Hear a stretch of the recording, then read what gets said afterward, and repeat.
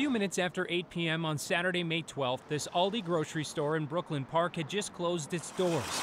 And a shopper was returning her cart when police say she was attacked by a stranger. It's a pretty brazen act, in our opinion. Brazen because it was still so light out that Deputy Chief Mark Bruley So right here is the victim. can show us the attack unfolding from an indoor surveillance camera. And then here comes our suspect, and right there you can see in his right hand, he uh, has the knife. A knife the victim says she didn't see until it was too late. He's going to then run and uh, corner her in the corner between the carts, and then what you'll see is him push her back, brandish the knife, threaten her, and then escort her out, and ultimately demanded she get into her vehicle. Police say the suspect forced the victim to drive at knife point about a mile and a half into Brooklyn Center before eventually stopping right here at this dead end street. It's here where the victim says the suspect attempted to rape her. She tells police she fought him off, not just once. She was um, uh, chased down by the suspect a second time and tackled, and ultimately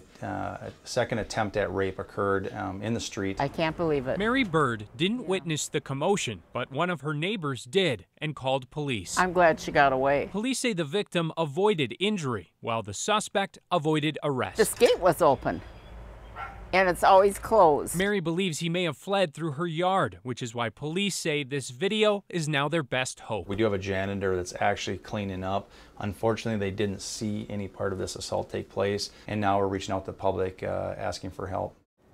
Now, police say the suspect is a black teenager who is just five feet four inches tall and was wearing a blue bandana over his face in that parking lot. Now, the victim did get a better look at his face during the attack, and they hope to have a sketch in the coming days.